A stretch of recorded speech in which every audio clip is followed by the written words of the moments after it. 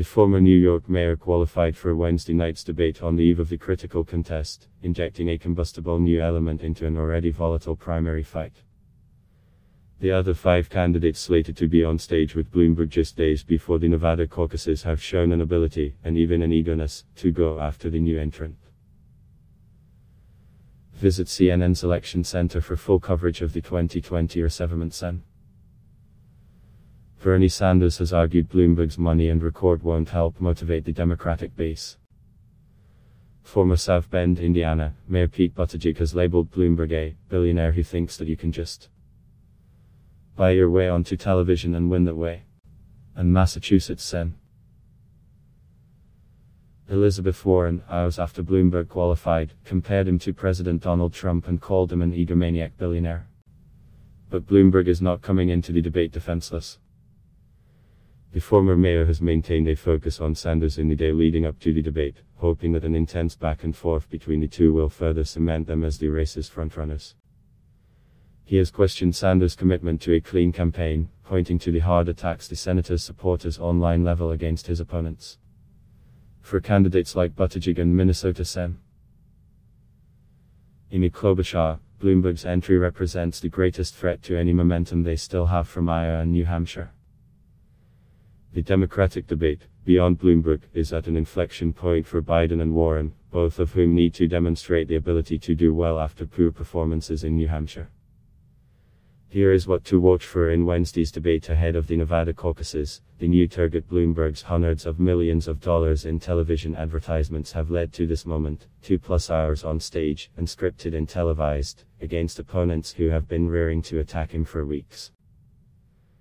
The former New York City mayor's presence on stage is the biggest new factor in Democratic debates for months. Other candidates have exited amid weak polling numbers, but he's entering as a central figure in the Democratic race, by jumping into the race late, skipping the first four states to vote in the Democratic nominating contest and refusing donations. Bloomberg has avoided debates up until now. But his hundreds of millions of dollars in ad spending has him polling in double digits nationally, which means, under the Democratic National Committee's recently tweaked qualification thresholds, he's in. And his rivals are waiting for him. In CNN town halls Tuesday night in Las Vegas, Sanders, Buttigieg and Klobuchar all said Bloomberg was attempting to buy the election. Sanders previewed an attack on Bloomberg over stop and frisk policing. And Klobuchar said she's glad to get a shot at debating the former New York City mayor. I actually thought he should be on the debate stage because I don't think you should just be able to buy your way to the presidency, she said. Bloomberg's first debate appearance comes amid a barrage of damaging headlines, largely focused on his previous comments about and support for policies widely seen as discriminatory, including stop and frisk policing and redlining. He will also likely face questions over allegations that he made crude remarks and fostered a culture of discrimination against women at Bloomberg LP. During the late 1980s and 1990s. Bloomberg, meanwhile, has signaled an eagerness to take on Sanders, with his campaign increasingly criticizing the tactics of the Vermont senator's sometimes rabid online following. Can Sanders give as good as he gets? Previous frontrunners have had a torrid time on debate nights, getting hit from all angles, with their rivals often unfurling new or unexpected lines of attack. Sanders should expect no less on Wednesday, when the moderate contenders are expected to pick relentlessly at Medicare for All, in a bid to get in good with Nevada's powerful culinary union, which opposes the plan. Bloomberg looks likely to jump on the dog pile, but an even better bet to escalate accusations that Sanders' surrogates are playing dirty, and that the Vermont senator either hasn't done enough to stop them or is in some way tacitly encouraging it. Sanders has in public repeatedly said that there is no room in the political revolution for abuse and harassment online, but that is unlikely to quiet the issue. And at a CNN town hall Tuesday night, Sanders put a finer point on it I do not believe in online bullying. End of discussion. The question for Sanders, then, is whether he can deliver the message he wants and not get bogged down by the incoming fire. Sanders is a mostly disciplined debater, hard to knock off script, but he will be under the microscope here and even the smallest blunder, a misfired attack, could open up a whopping can of new backlash. Still, Bloomberg's presence could break to Sanders' benefit. The heavy spending billionaire is new to the primary debate stage and represents a new foe for the populists, and perhaps some of the moderates who seem encroaching on their support to feast on. Buttigieg, Klobuchar have been preparing for this fight for months. There isn't much love lost between Buttigieg and Klobuchar. The two moderates have repeatedly used the debate stage to air their grievances with each other, with the Minnesota senator targeting the former South Bend, Indiana, mayor for his youth and experience on the local level as a way to blunt his rise. Klobuchar, unlike other candidates, has perplexed Buttigieg on the debate stage where he has effectively counterpunted against attacks from Warren, Biden and Sanders, Buttigieg hasn't been able to hit Klobuchar with the same fire, and the Minnesota senator is now surging after a strong debate performance and third place finish in New Hampshire. That's why Klobuchar bungling an interview in Nevada and awkwardly being unable to name the president of Mexico could provide a flashpoint in Wednesday's contest. Buttigieg, who was able to name Mexican President Andres Manuel López Obrador, hit Klobuchar for her inability to answer the question on Sunday, telling a crowd of supporters in Las Vegas that the misstep shows that there is more to being prepared than how many years you spent in Washington. Klobuchar, for her part, has looked to cast Buttigieg as a newcomer with no political record.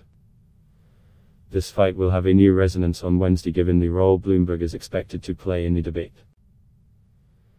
The former New York mayor, by offering a similar set of moderate policy prescriptions as Buttigieg and Klobuchar, is looking to court some of the same voters and conversations with supporters of each campaign here in Nevada highlight how Bloomberg has made inroads with moderate Democrats. And Bloomberg has a $60 billion personal fortune to use to get the message out, something neither Buttigieg nor Klobuchar can come close to touching. Biden eager to attack Bloomberg, too this is the turning point Biden has been promising written off by many, including Bloomberg, whose campaign is arguing it's a two man race between the former mayor and Sanders. After a fourth place finish in Iowa and a fifth place showing in New Hampshire, Biden is on more comfortable territory in a state with a much larger share of non white voters. But the former vice president appears to have lost some benefit of the doubt. The powerful culinary union praised him, but didn't endorse him. Former Sen. Harry Reid said he thinks Biden could win, but didn't caucus for him. His fundraising, which has already lagged some of his rivals, faces the threat of donors frozen by Bloomberg's billions or eyeing moderate alternatives like Buttigieg or Klobuchar. Right at the moment, Biden needs to drastically scale up for Super Tuesday, when 14 states vote on March 3.